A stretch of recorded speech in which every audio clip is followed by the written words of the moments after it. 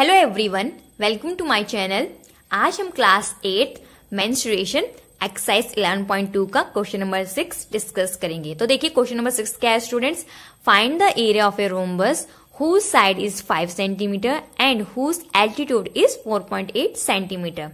If one of the diagonal is 8 centimeter long, find the length of a other diagonal. तो देखिए students question बहुत easy है इसमें आपकी नॉलेज को भी जज किया जाएगा और आपको पता करेंगे कि इस तरह से आपको ये क्वेश्चन किस तरह से समझ में आएगा, ठीक है? आपको मतलब कितनी नॉलेज है इसकी? पहले तो हमें पता होना चाहिए रोमबस क्या होता है। देखिए रोमबस इस तरह का कुछ होता है काइट शेप टाइप का। एक्जैक्टली काइट नहीं बोलते बट इस तरह से होता है फोर साइड पे उसमें बोलेगा one side is five centimetre one side is five centimetre और हमें पता है रोमबस की all four sides are equal तो हम कह सकते हैं ये भी फाइव सेंटीमीटर है, और ये भी हमारी क्या है फाइव सेंटीमीटर ही है, ठीक है? मतलब all four are five centimetre और एंड बोला गया एल्टीट्यूड एल्टीट्यूड क्या होता है हमारा?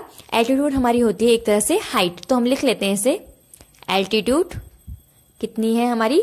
4.8 सेंटीमीटर ठीक है? लिख लिया. और बोला गया है कि हमारा जो एक डायनल दे रखा है, वो हमारा 8 सेंटीमीटर लॉन्ग है. तो D1 लिख लेते हैं.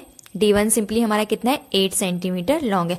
तो बोला गया find the length of a other diagonal मतलब हमें डायनल टू की लेंथ निकालने तो देखिए, अब जो ये रोमबस है, ठीक है?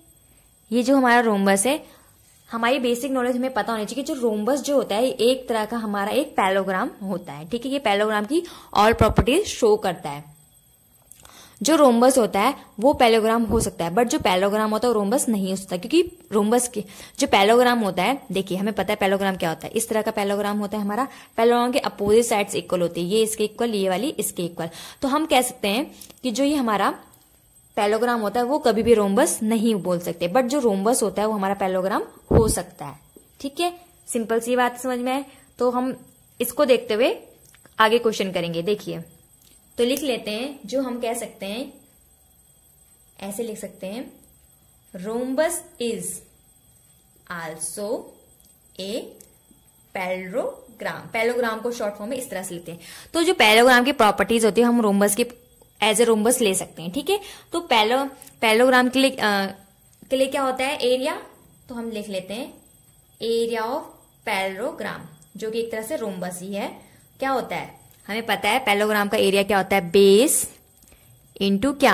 हाइट दैट्स इट ठीक है? बेस अब देखिए इस तरह से देखा एल्टीट्यूड देखा था मींस हाइट दे रखी थी। इस तरह से कुछ यहाँ पर हाइट रही होगी 4.8 तो हाइट तो यहाँ 4.8 ले लेंगे।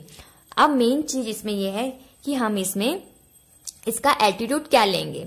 मतलब बेस क्या लेंगे? तो देखो, इसे रोमबस बोला गया है। अगर रोमबस एज ए पैलोग्राम होता है, ठीक है?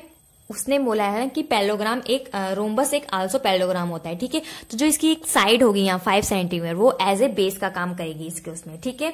तो बेस का काम करेगी तो हम लिख सकते हैं ये फाइव ठीक है? यहाँ से एरिया ऑफ़ पैलोग्राम निकाल लेंगे सिंपली एरिया ऑफ़ पैलोग्राम हमारा यहाँ से आ जाएगा ट्वेंटी फोर सेंटीमीटर स्क्वायर। तो जो एरिया ऑफ़ पैलोग्राम आया है, वो हम कह सकते हैं एरिया ऑफ़ रोमबस भी कह सकते हैं इसको, क्योंकि दोनों हमारे सेम है।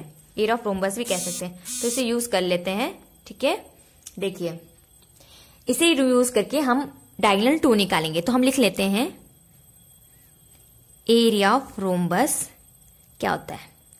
एरिया ऑफ़ रोमबस हमारा होता है half multiply D one into D two simple तो देखो एरिया ऑफ़ रोमबस हमने ले लिया, ये ट्वेंटी फोर है। ये हमने जो निकाला था हाफ़ लगा लेते हैं। एक डी वन हमें गिवन था, जो कि था एट और डी टू हमें यहाँ से निकालना था। ठीक है? इसे कैंसिल आउट कर देते हैं टू फोर जा एट अब ये जो ये है फोर वाला यहाँ जाके डिवाइड में जाएगा सिंपल सा। आप कर सकते हैं इसे।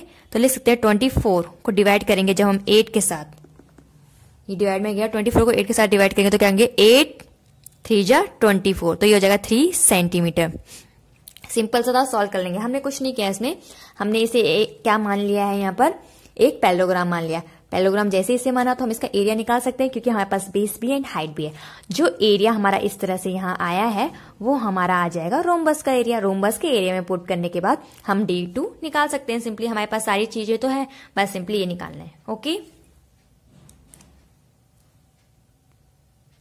बहुत इजी क्वेश्चन है। आप एक बार ट्राई कीजिएगा इजीली समझ में आ जाएगा। बस मेन चीज़ में ये ध्यान रखने की क्या थी कि rhombus is also a parallelogram और पैलोग्राम का एरिया निकाला, जो हमने एज ए रोमबस का एरिया लिया है देन आंसर निकाला है।